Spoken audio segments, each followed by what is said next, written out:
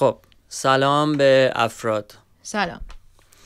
ما این دفعه این خیلی فاصله افتاد بین جلسه قبل و این جلسه و خب دلایل مشخصی داره. یکم که همه درگیر ویروس شدیم کرونا و خوبه باز از اینجا هم بگیم که واقعا مراقب باشید. یعنی بد نیست الان بگیم که اتفاقا یکی از آشناهای ما که یه دکتریه خیلی دارن زور می‌زنن و تلاش می‌کنن که جلوی اینو بگیرن. ولی میگن اگه واقعا مردم با ما همکاری کنن و مردم گوش بدن حرف ما رو می‌تونیم جلوشو بگیریم. ولی اگه گوش ندن و نکنن خب نمی‌تونیم. نمی‌ذارن. مردم اذیت می‌کنن. خب نکنید لطفا.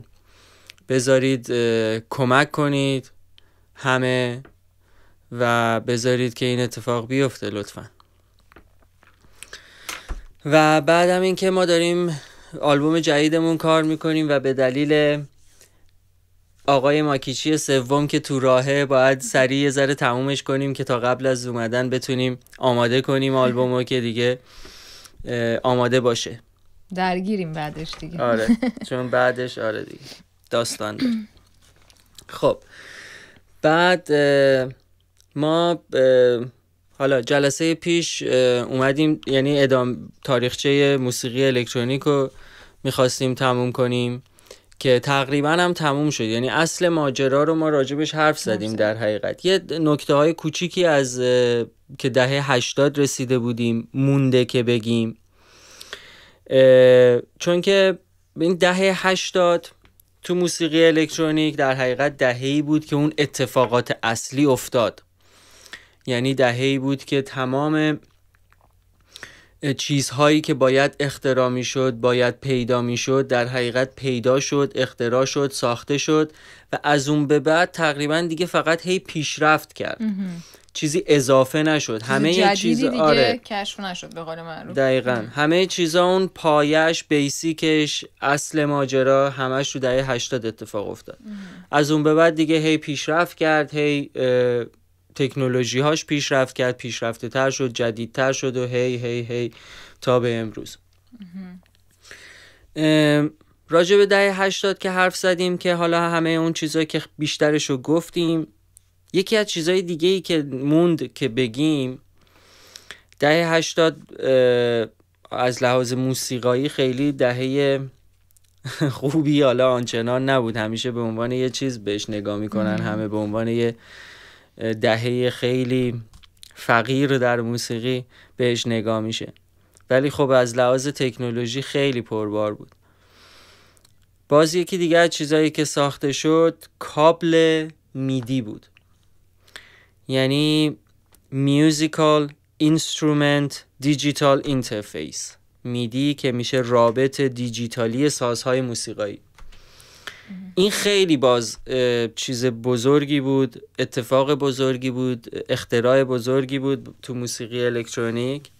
به دلیل اینکه اولین بارم دو نفر به اسم دیو سمیث و چت وود سال 1981 تئوری این کابل های میدی رو توی یک کنفرانسی توی نیویورک مال مهندسین جامعه مهندسین صدا بیان کردن و ارائه دادن و راجع به صحبت کردن که اون موقع بهش می‌گفتن Universal Synthesizer Interface. این تئوریه اینو می‌گفتن. اسم این کابل در اون اول که راجبش حرف زدن و اینو بیان کردن Universal Synthesizer Interface. اون موقع بهش می‌گفتن. تا بعدها وقتی کامل شد و ارائه شد شد اسمش میدی. میدی. خب چیزی بود که اولا به خاطر این همین مسئله که می‌تونست با اتصال دیجیتالی یک ساز به حالا اون منبعی که حافظه ای که حالا قرار ثبت کنه یا قراره به هر چیزی که وصل بشه دیتا انتقال میده. واسه همین خب خیلی کشف بزرگی بود به جای اینکه یا فقط صدا ضبط کنه یا فقط نوت ضبط کنه می‌تونست تمام دیتاهای یک صدا رو ضبط کنه و برای همین یه صدای دیجیتالی رو؟ سازهایی که می‌تونن مثل سینتیسایزر مثل سازهای الکترونیک. آره اکثرا سازهای الکترونیک. خب قابلیت اتصال MIDI دارن. سازهایی که قابلیت اتصال اتصال MIDI داره. شدن رو داشته باشه. بعد data های یه صدا رو می‌تونه ضبط کنه. یعنی حالا نوت صدا تمپوی اون چیزی که زده میشه نمی‌دونم لول صدا پیچ صدا یا ویبراتورها همه 16 کانال به تو اجازه میده که تو برای اون صدایی که داری ضبط می‌کنی یا داری انتقال میدی 16 کانال وجود داره که اطلاعات اون صدا هم باهاش ضبط بشه. به جز اینی که می‌تونست به حالا برای ذخیره کردن وصل بشه این میدی باعث شد که سازهای الکترونیک بتونن به همدیگه هم وصل بشن و سینک بشن از این طریق. این اینا خیلی خوب کمک کرد. یعنی ما می‌تونیم الان و از اون به بعد می‌تونستیم سینتیسایزر یه drum sequencer یه حالا bass synthesizer یا همه چیزهایی که داریم و از طریق MIDI به هم وصل کنیم. و اینجوری همه با هم sync میشه. به راحتی. لازم نیست دیگه همه به هم data هاشون منتقل میشه. sync میشن با هم و با هم به راحتی می‌تونه اجرا بشه. اجرا کنی یا ریکورد کنی یا هر چیزی که حالا یا اجرای live یا ریکورده اینا با هم sync شده و به راحتی اجرا میشه و با هم data ها منتقل میشه و کار می‌کنه.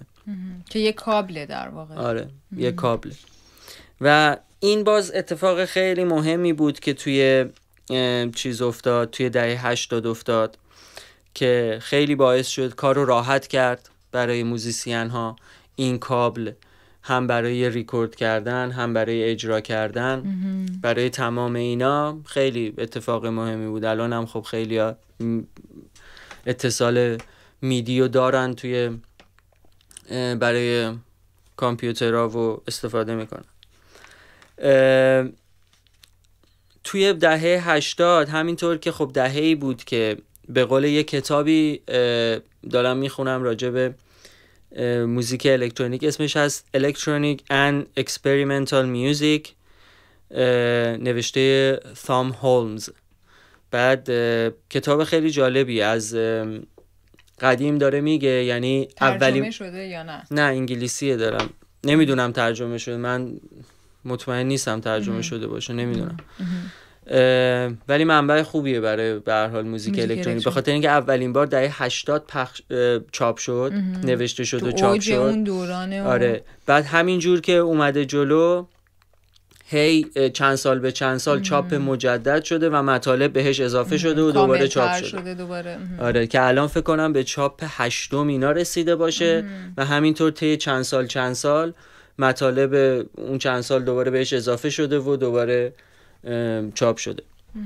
که خیلی خوبه. حالا به قول اون کتاب که میگفتش که دهه هشتاد باز دهه‌ای بود که it was a rise of the bass synthesizers.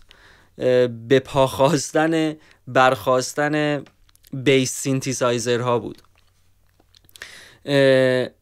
این سینتیسایزر های مختلف همینجور دهه 80 داشت تولید می‌شد. مخصوصا کمپانی Roland که از پرفروشترین ها اه، bass synthesizer هایی که تولید کرد. TB 303 که خیلی bass synthesizer فراگیر و معروفی شد توی دهه 80 و drum sequencer و drum machine ایی که تولید کرد باز Roland TR 808 و TR 909 که هنوز توی software ها و اینا وجود دارن و اون صدای دهه 80 های drums ای دهه 80 رو میدن. و اینا همینجور اومد و و با صحبت هایی که کرده بودیم جلسات پیش که چقدر تولیدات دیگه دهه 80 شده بود. دهه 80 شد دهه به پا خواستن موسیقی الکترونیک. ولی بعد جلوتر که اومدیم میگم از اون به بعد کلا توی موسیقی الکترونیک هی فقط پیشرفت دیدیم. یعنی کاملتر شد آره کاملتر و اینا شد. شد. از به دهه 90 که رسیدیم خب دهه 80 موزیکای synth pop new wave که به وجود اومدن با گروه هایی مثل Depeche Mode Peter Gabriel بود. خب یه ذره خب کارش متفاوت تر بود ولی به هر حال Eurythmics بود Pet Shop Boys بود اینا بودن. دهه 80 خیلی اه، باعث و بانی مخصوصا Depeche Mode باعث و بانی این موزیک new wave و synth pop شدن. ولی وقتی که رفتیم جلوتر تا نزدیکای دهه 90 اواخر دهه 80 کم کم با به وجود اومدن گروه هایی مثل Nirvana مثل Pearl Jam مثل Def Leppard اینجور گروه ها با پیدایش یعنی موسیقی آلترنیتیو تو دهه 90 موزیک الکترونیک خوشبختانه مسیرش تغییر کرد. حتی مثلا مثل گروه های مثل Depeche Mode هم مسیر مسیرشون تغییر کرد. با به وجود اومدن این سبک از موسیقی alternative indie rock موسیقی الکترونیک هم مقداری قاطی شد با موسیقی آلترنیتیو که تبدیل شد به به وجود اومدن گروه های مثل Massive Attack مثل Boards of Canada مثل که در حقیقت که در حقیقت به جای اینکه موسیقی بگیم الکترونیک بودن در حقیقت band های alternative indie rock ی بودن که با الکترونیک قاطی شده بودن. یعنی ترکیب این دوتا شده بودن. خب. part دوازده دقیقه دوم. بعد آره. موسیقی موزیک آلترنیتیو می‌دونی فلسفه موزیک آلترنیتیو خیلی فلسفه جالبیه. من خیلی دوست دارم کلا فلسفه این سبک از موسیقی رو. اصولا خب همیشه موسیقی تا قبل از اون با با اینکه سبکایی مثل rock and roll و راک و اینا وجود داشت و که یه ذره از اون حالت کلاسیک موسیقی موسیقی رو دور بود. کرده بود. ولی با این حال باز موسیقی خب خیلی قانونمند بود. طبق یه قوانین و یک دانشی انجام می‌شد بیشتر. ولی فلسفه موسیقی آلترنیتیو که اصلا معنای کلمش یعنی جایگزین یعنی حتی مثلا توی داروی مثلا ما توی داروها وقتی که داروهای شیمیایی مثلا میگن وسترن مدیسین داروهای غربی بهش میگن حالا شیمیایی ها داریم اصولا به داروهای گیاهی اه، یا حتی مثلا علف که الان مثلا خیلی جاها علف و ماریجوانا مثلا خب قانونی شده و با نسخه و اینا می‌تونی بگیری. به اینا میگن alternative medicine که اصلا خب یعنی یه جور جایگزینه. موسیقی آلترناتیو هم یه جور فلسفهش واقعا یه همچین شکلی بود. به خاطر اینکه یه جورایی با این فلسفه به وجود اومد که موسیقی رو از قانونمندی یکم بیایم دور کنیم یکم به احساسات نزدیکش کنیم. یعنی دلیلی نداره که حتما به عنوان یه کسی که کار موسیقی می‌کنه یا موزیسینه یا موزیک تولید می‌کنه حتما صرفا دانش و علم موسیقی باشه حتما بر اساس اون موسیقی که قراره اه، بنویسه بر اساس یک قوانینی جلو بره اون کورد پروگرشنی که می‌نویسه حتما این فاصله این فاصله این فاصله به این شکل جلو بره حتما. و در حقیقت اومد یه همچین چیز. درسته مثلا یه گروه هایی مثل بیتلز مثل مخصوصا بعدش پینک فلوید خیلی موسیقی رو به سمت احساس نزدیک کردن تا اون شکل کلاسیکش و قانونمند کلاسیکش. چون اون موقع هم قانون بود هم احساس ولی یه ذره هی داشت به سمت احساس بیشتر می‌رفت تو این دهه ها. ولی دیگه اتفاقا این مسئله که داریم میگیم یه چیز خیلی جالبی داره برای جلسه بعد چون ما جلسه بعد یه موضوعی داریم به عنوان موسیقی در ایران و موسیقی ایرانی که می‌خوایم راجع به این مسئله صحبت کنیم. چون ما مسائل مختلف رو می‌خوایم کلا صحبت کنیم. حالا که الان تاریخچه الکترونیک رو تموم کردیم بریم هی چیزای دیگه هم بگیم موزیک الکترونیک هم بگیم. بریم دیگه راجع به موسیقی. خیلی بحث اتفاقا خوبی میشه. این چیزی که داریم میگیم به اون خیلی اتفاقا مربوط. میشه. بعد آره و مثلا یه کسایی مثل Kurt Cobain که وارد موسیقی شدن بدون اینکه کوچکترین دانش و علمی از موسیقی داشته باشن بدون اینکه حتی بدون مثلا Kurt Cobain بدون اصلا آکورد می مینور یعنی چی؟ اصلا تشکیل شده از چه فاصله هایی چه نوتاییه یا یه همچین چیزی؟ به راحتی موسیقی تولید کردن کاملا وابسته به احساسات کاملا وابسته به حس. البته این دلیل نمیشه که آدم کلا همه چی رو بگه ول کنه هر چی حسش حسی و اینا یعنی بالاخره یه قانونی هست. یعنی یه چار نه چارج چرا دیگه؟ بالاخره یه یه درکی بیشتر. می‌دونی؟ یه درک درستی باید از موسیقی باشه. موسیقی رو آدم بفهمه حس کنه درک کنه بدون اصلا چرا رفته سراغش بدون اصلا به چه دلیلی مدیوم موسیقی رو انتخاب می‌کنه. درک درست بکنه از موسیقی. حداقل اگر هم می‌خواد آدم حسی کار کنه بدون علم و دانش کار کنه حداقل درک کاملی از این داشته باشه. و صرفا به هدف فروش و معروف شدن نباشه خب حالا تجارت نباشه. الان خب زیاد داریم در سینما سینمای آلترناتیو داریم و خب خیلی ها هستن بدون دانش پایه و آکادمیک سینمایی فیلمساز شدن.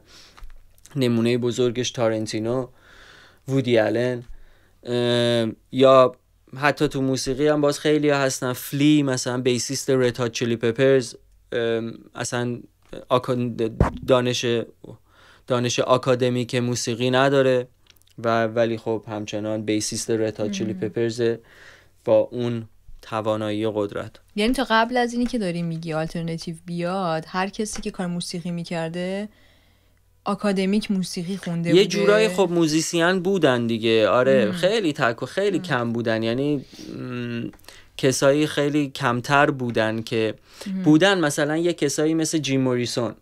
خب وکال ددورزه ولی خب فرق داره می‌دونی؟ ولی بندش گروهش موزیسینن. ولی خب اون یه شاعره که میاد اضافه میشه و با اون حس و حال و با شعراش می‌خونه در کنارشون. چرا؟ اینجوری داشتیم. خب نمیگیم اصلا نبوده, نبوده. ولی به وجود اومدن موسیقی آلترناتیو یه جورایی موسیقی آلترناتیو یک سبکه ولی خب یه همچین فلسفه ای پشتش هست. آره. که به این سمت برد موسیقی رو واسه همین موسیقی الکترونیک هم تو دهه 90 خیلی با این سبک راک آلترناتیو راک indie rock قاطی شد و همینجور با زیرشاخه های جدید ازش به وجود اومد ما خیلی یه جورایی میشه گفت تو بعد از دیگه به دهه 90 و اینا که می‌رسیم همونطوری که موسیقی راک بعد از چند دهه تبدیل شد به یه سرگروه. اولش که خب بیتلز اومد موسیقی راک رو شروع کرد. خب موسیقی راک یه ذره مشخص تر بود. ولی بعدش اومد یکی دو دهه که اومد جلوتر. انقدر ترکیبات جدید و مختلفی ازش به وجود اومد که دیگه راک شد یه سرگروه. وقتی میگیم الان میگیم موزیک راک دیگه یه چیز خیلی کلی رو داری به اسم می‌بری که می‌تونه خیلی شاخه های دیگه باشه. دیگه. الکترونیک هم تقریبا بعد کم کم به یه همچین چیزی تبدیل شد. تو دهه 90 و بعد هم 2000 به یه چیزی باز سرگروه تبدیل شده الان. دیگه یه چیزیه که هزاران هزار حالا هزاران همچین. هزاران هزار. هزار که حالا نه. حالا مثلا چه می‌دونم سی چل تا. حالا همچین یهو رفتم اصلا آره. بعد آره خلاصه. بعد حالا ده ها مثلا زیر شاخه و اینا ازش به وجود اومد و سبک های مختلف و زیر شاخه های مختلف ازش به وجود اومد. و الان وقتی میگیم موزیک الکترونیک دیگه از یه چیز خیلی کلی داریم صحبت می‌کنیم و باز باید یه اشاره بشه که حالا از کدوم زیر شاخش و بعد دهه 90 دیگه اینا یه ذره باز قاطی تر شده و موزیک الکترونیک یک کم از آلترنیتیو و indie rock مایه گرفت. با هم ترکیب شدن. به جز اینکه حالا سبکای house و techno و اینا از اواسط دهه 80 شروع کردن به وجود اومدن و EDM ها خودش electronic dance music ها خودش چندین شاخه شدن. acid house و acid techno minimal techno و نمی‌دونم psychedelic house و نمی‌دونم همینجور اینا به وجود اومدن. اینا همه رفتن تو شاخه الکترونیک آره دیگه. اینا بیشتر شاخه های EDM میشن یعنی Electronic Dance Music بیشتر. از این ور خب یه سری باز الکترونیکا هستن که یه ذره اومدن با indie rock قاطی شدن. الان دیگه اینا خیلی با هم ترکیب شدن. indie rock و آلترناتیو و الکترونیک اینا با هم ترکیب شدن. نمونه خیلی دهه 90 Massive Attack مثلا آدم می‌تونه بگه که خیلی از این ترکیب مایه می‌گیره. بعد خلاصه اینجوری. بعد که اومدیم جلوتر و کم کم دیگه از اواخر دهه 90 و اوایل 2000 که دیگه کامپیوترها هم که باز شروع شدن که دا DAW داها به وجود اومدن Digital Audio Workstation ها های موسیقی به وجود اومدن. مثل Cubase مثل Logic مثل کیک واک اون موقع بود Sonar بود نمی‌دونم اینا بود.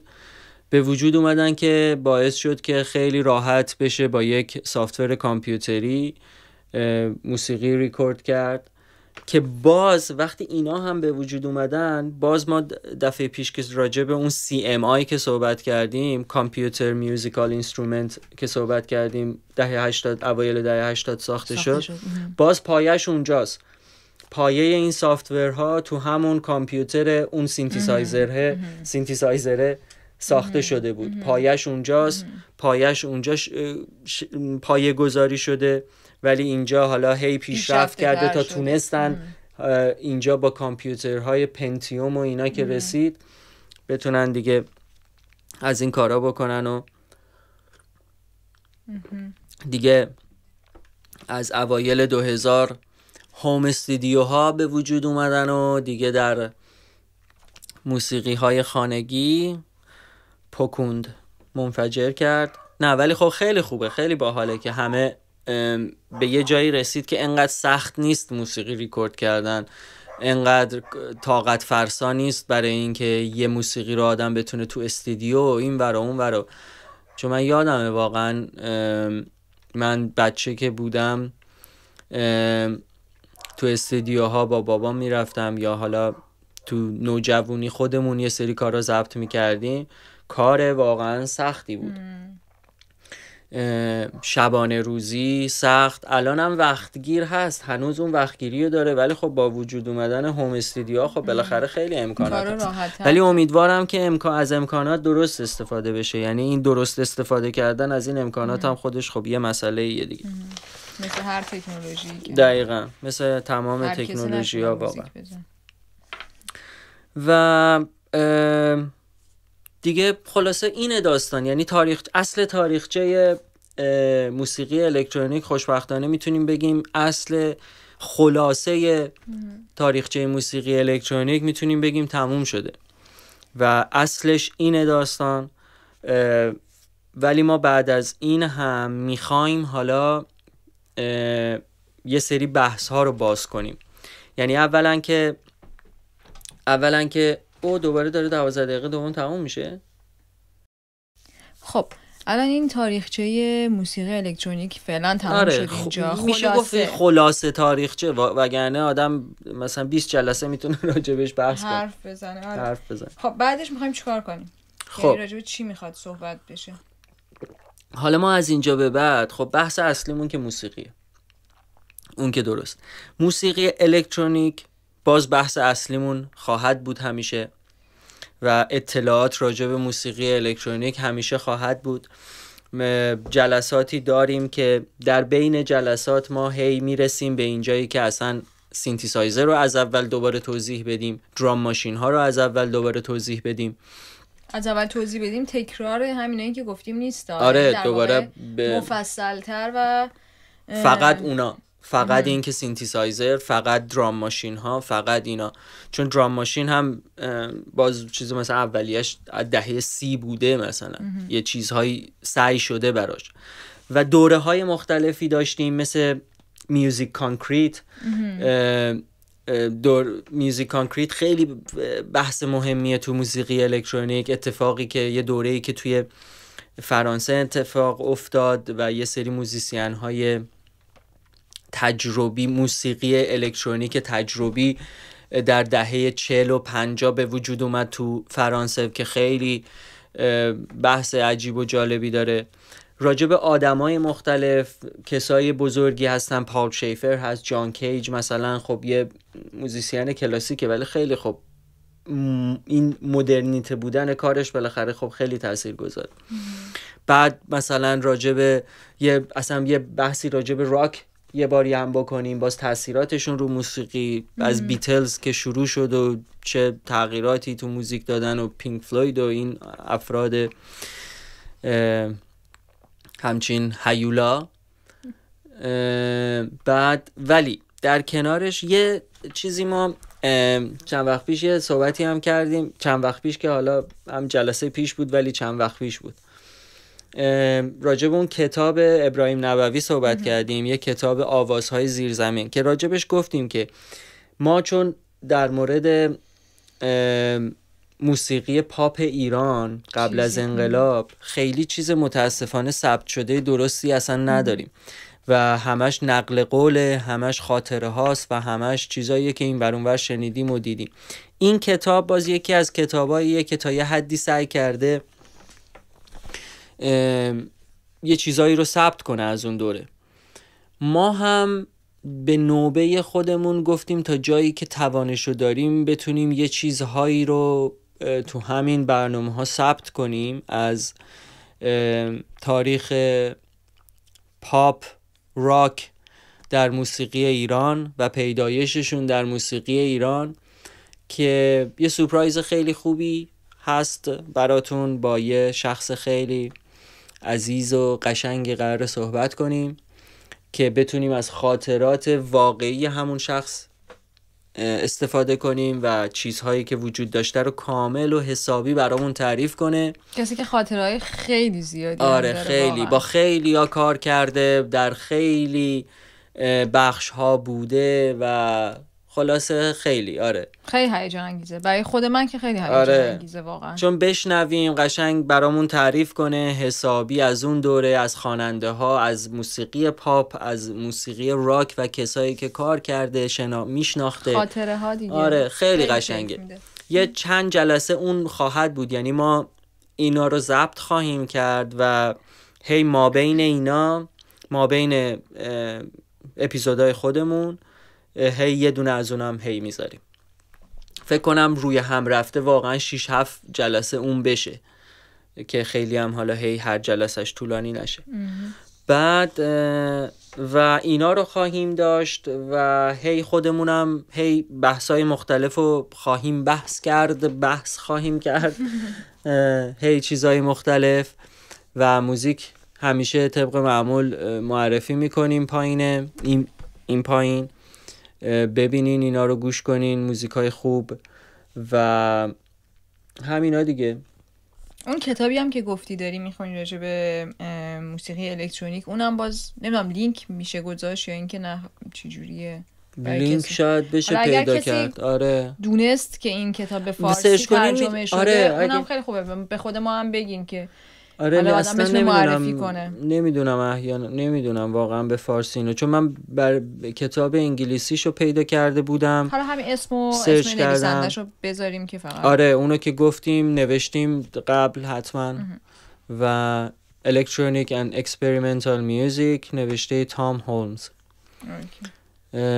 و آره.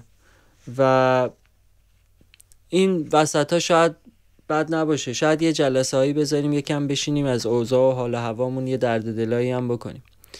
خیلی چیزای عجیب آدم می‌بینه مخصوصا تو موسیقی. ما که خب بیشتر بحثمون موسیقیه و بیشتر دقدقمون موسیقیه. دقدقمون حیواناست دقدقمون گیاهخوار بودن و به حیوونا صدمه نزدنه و موسیقی بیشتر و آرامش مردم و صلح و دوستی. حالا شاید گاهی از این چیزا و چیزای عجیبی که آدم می‌بینه تو ایران هم بد نباشه گاهی صحبتهایی بشینیم دور هم بکنیم. ولی کلا همیشه بحث اصلیمون موسیقی و با نگرش نگر... موسیقی الکترونیک خواهد بود با دیدگاه موسیقی الکترونیک شما هم نظراتتون رو به ما بدین مثل همیشه اگر نظری دارین اگر چیزی هست که می‌تونه کامل کنه به نظرتون اگر هرچی هر نظری داشتین؟ بذار یه چیز جالبی هم من می‌خواستم بگم. هی یعنی نگفتم ولی یهو الان یادم افتاد. یه چیز خیلی جالبی راجع به موسیقی الکترونیک بگم. من تو این چیزهایی که هی بیشتر میخوندم راجع به موسیقی الکترونیک برای جمعآوری کردن مطالب به یه چیزی خودم پی بردم که خیلی جالب بود برام. یعنی یه حسی خودم شاید ناخداگاه در خودم به وجود اومده ولی موسیقی راک کلا یک بخش اعتراضی داشت که به وجود اومد. hard rock rock n rock n roll حالا نه hard rock metal نمی‌دونم اینا که همینجور هی مخصوصا سنگین تر شدن psychedelic rock. progressive rock اینا همه یه بحث اعتراضی داشتن یعنی به دنیای صنعتی به پیشرفت تکنولوژی به تغییرات این شکلی دنیا با همین سرصداهای قوی و صنعتی اعتراض می‌کردن. و بحثش بیشتر به این شکل بود. ولی احساس می‌کنم موسیقی الکترونیک یه جورایی برعکس موسیقی راک عمل می‌کنه. یعنی یه جورایی پذیرفته این تغییراتو. گفته که یعنی احساس می‌کنم که میگه من میپذیرم این تغییرات در دنیا رو به جز تلخی ها به جز بدی ها که اونا همیشه قابل اعتراض همیشه پلیدی ها و بدی ها و تلخی ها همیشه جنگ و اینا همیشه قابل اعتراض به هر نوع موسیقی. ولی احساس می‌کنم این تغییرات صنعتی این تغییرات توسط موسیقی الکترونیک یه جورایی پذیرفته شده. میگه من آقا می‌دونم این تغییرات کرده. من دارم این صداهای جدید رو میشنوم. من دارم می‌بینم چقدر صداهای غیر طبیعی دیجیتالی و اینجوری به جهان اضافه شده و صداهای صنعتی به جهان اضافه شده. میپذیرمشون و ازشون استفاده بهینه می‌کنم. و یه جوری تولیدشون می‌کنم که بشه ازش لذت برد. یعنی یه, جور مثبت نگری داره به این تغییرات در دنیای امروزمون. و به نظرم اینش هم خیلی جالبه که درسته که بده درسته که منفیه ولی ناگزیریم از وجودش. پس آره می‌تونیم یه جور استفاده بهینه بکنیم مثل موسیقی الکترونیک. و مثل موس... خیلی موسیقی های دیگه موسیقی کلا استفاده بهینه ایه ولی موسیقی الکترونیک بزن به نظرم یه جورایی قبول کرده و خیلی استفاده قشنگی داره می‌کنه از این سر صداهای غیر طبیعی که به روزگارمون اضافه شده. و این هم چیز باحالی بود. توش می‌دیدم. یعنی دیدم شاید کسایی که یه ذره ناخداگاه حتی می‌تونن مثبت ببینن این تغییرات. و درست بدمون میاد از اینکه این همه دنیا تغییر کرده و به سمت بدی داره میره. خیلی غم انگیزه درسته. ولی حداقل میگیم بذار خب ازش استفاده بهینه ای بتونیم بکنیم. شاید ناخداگاه باشه. کسی که یه ذره می‌تونه استفاده های مثبت هر چیزی رو ببینه میره این سمت و یه استفاده به جای استفاده تلخ که بگه من بدم میاد. چرا می‌کنی؟ یه استفاده حالا بهینه تری بکنه. به هر حال. خب اینم یه بحث جالبی بود. خب ولی جلسه بعد ما بحثمون اینه. موسیقی در ایران و موسیقی ایرانی این بحث جلسات بعدمونه که شاید یه جلسه دو جلسه کنم توی یه جلسه جمع یا دو جلسه نهایتا. یا دو جلسه. آره موسیقی در ایران و اتفاقات موسیقی در ایران و چیزایی که موزیسین ها باهاش درگیریم و موسیقی ایرانی و سنتی و اینا خب دیگه تا تمام نشده وقتمون خدافظی آره. کنیم دمتون گرم. ما رو حمایت کنین ما رو ببینین. سابسکرایب کنید. معرفی کنیم کانال ما رو معرفی کنید به دیگران. ما همچنان داریم زحمت می‌کشیم و کار می‌کنیم و جون می‌کنیم.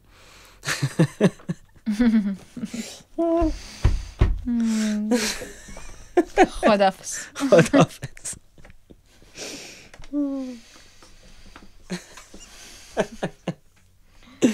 مثل مدل آدما هستم مثلا میگن بعد تشریف آوردم یا مثلا فرمودم.